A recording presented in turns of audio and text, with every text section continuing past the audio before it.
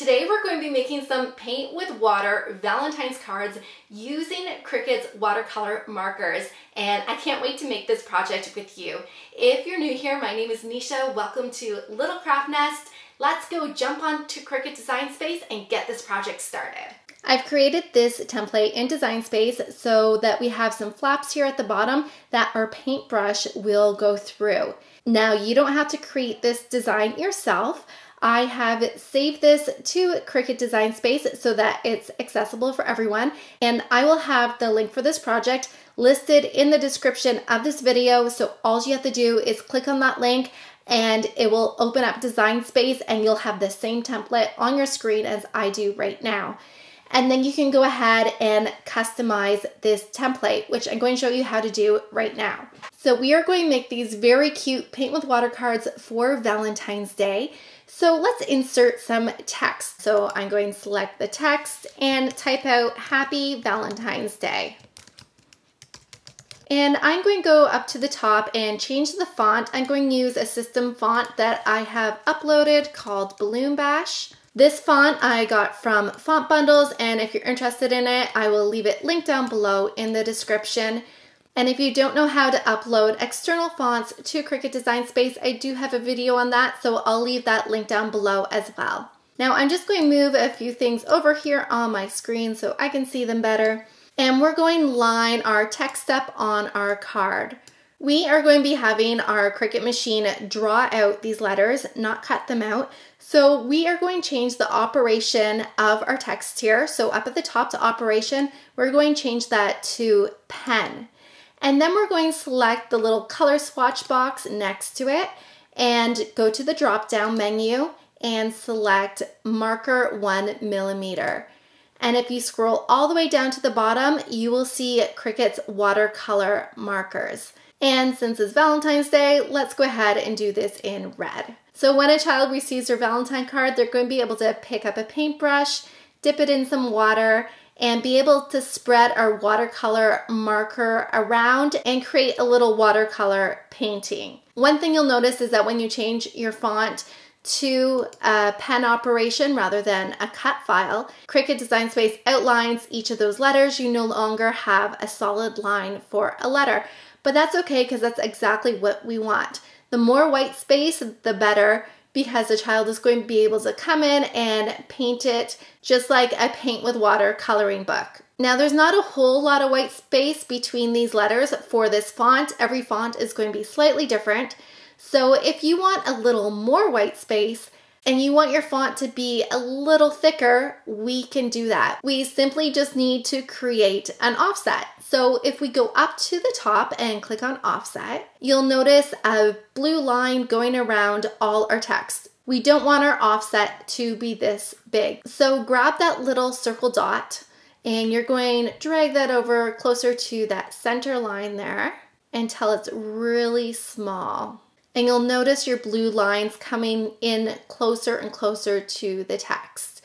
Or you can manually do that and type in, uh, let's try 0.04 and then we're going to click on apply. So now we have an extra layer here. We have our first happy Valentine's Day and I just realized I forgot to put an apostrophe in Valentine so we can change that and I'll create a new offset in just a second.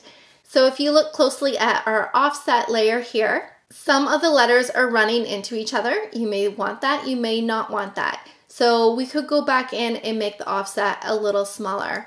So let's keep our original layer here that I added my apostrophe to. And let's go back to offset. And instead of 0.04, let's do 0.03 and click on apply. And we're going to get rid of our old offset layer here. And here is our new layer here. And the letters don't run into each other quite as much as before. But I do need to shrink this down a little bit because it's kind of hitting the edges of my card. So let's do that. So I'm happy with my text now. I'm going to delete this original layer. And let's add some hearts to this card as well. So just go over to the left hand side and click on shapes and we can select the heart. And we can put a few of them on here. You can drag them, make them smaller. You can turn your hearts and put them wherever you want. To go a little faster, you can go up to the top right and duplicate your hearts a few times and then just place them wherever you want on your card.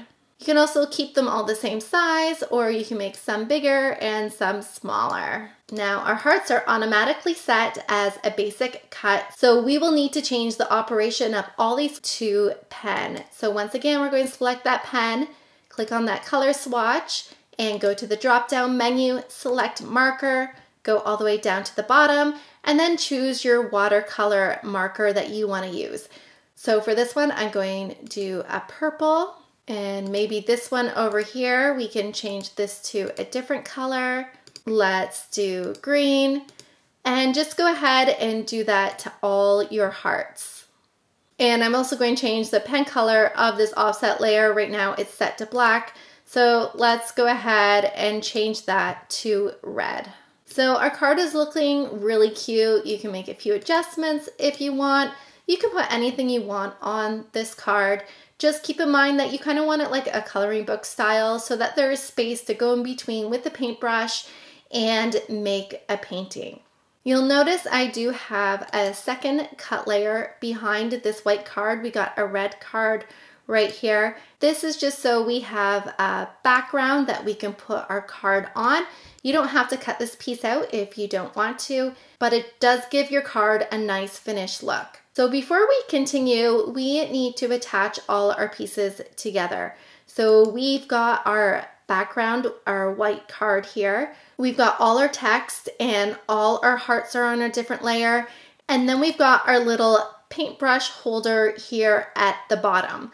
I have created score lines here and little cross cut lines so that you can slide your paintbrush through this card. So before we go ahead and make this, we need to select all these layers here, not the red layer, just all the other ones, and then go down to the bottom right and click on attach.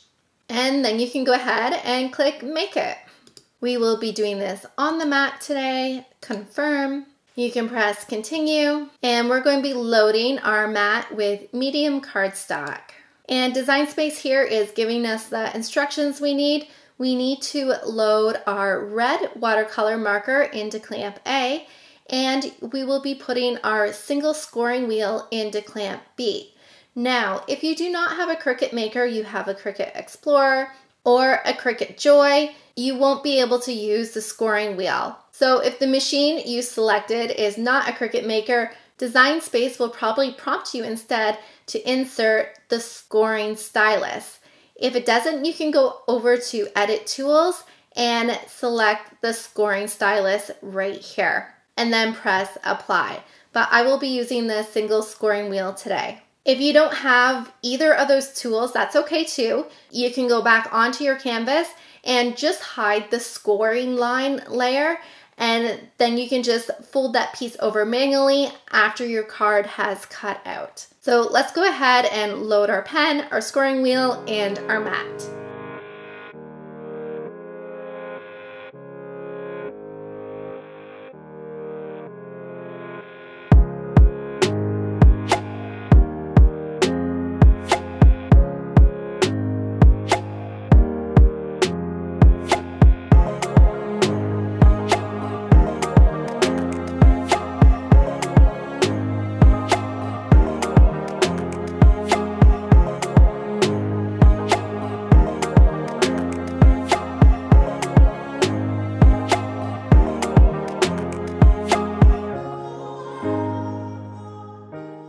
To take your card off the mat, we're going to flip our mat upside down and slowly peel the mat off our cardstock. So now we're going to take our Valentine's card and the backing and we're going to tape those together. I'm just going to use a tape runner here. And then you can grab these two tabs, fold them up. Our score line makes it very easy to fold. And you can grab a small paintbrush and stick it in. And our paint with water card is ready to hand out.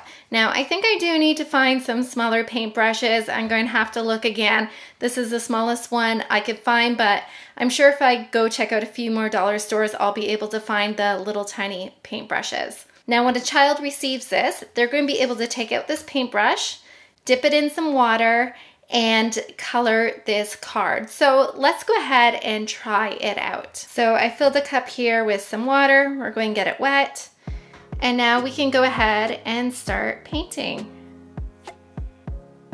Now, if you wanna see some more projects that you can do with the Cricut watercolor markers, I've recently done a video on that, so go check it out. I'll leave it linked down below in the description. I hope you enjoyed today's project. If you're looking for more Valentine's ideas, go ahead and check out this playlist right here, and I hope to see you on more crafting adventures.